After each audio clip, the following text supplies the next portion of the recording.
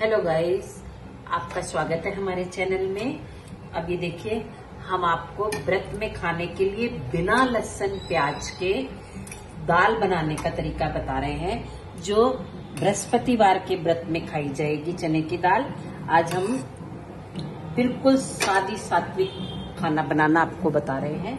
ये देखिए, हमने गैस जला के कुकर गरम किया, उसमें रिफाइंड डाला। अब हम इसमें डालेंगे, ये देखिए हमने इसमें पहले सौंफ डाली है।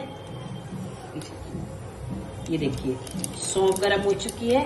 अब हम इसमें जीरा डालेंगे और इसके साथ ही हम ये जरा सी अजवाइन डाल देंगे। देखिए।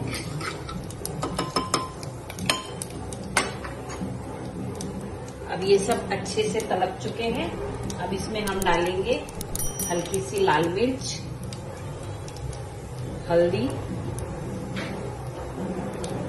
और ये देखिए पानी।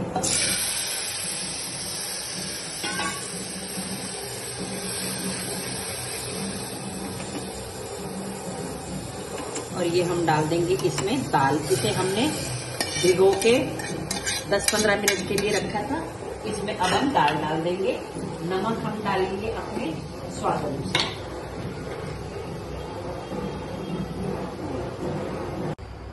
ये देखिए गाइस तीन चार सीटी बाद हमारी दाल अब हम आपको खोल के दिखाते हैं। देखिए। देखिए, बिना लहसुन प्याज के कितनी प्यारा कलर आया इसमें। और ये देखिए, अब हम इसमें डालेंगे ये कसूरी मेथी, सूखी मेथी। ये देखिए। देखिए, अब हम आपको इसको कटोरी में डाल के दिखाते हैं कितनी गाढ़ी गाढ़ी और अच्छी दाल बनी है। ये देखिए गाइस बिल्कुल भी इसमें ऐसा नहीं है कि दाल अलग है, पानी अलग है। बिल्कुल एक सार दाल बनी है। ये बिल्कुल जैनियों के खाने की तरह बनी है, सात्विक खाना है। इसे वीरवार के व्रत में भी खाया जाता है।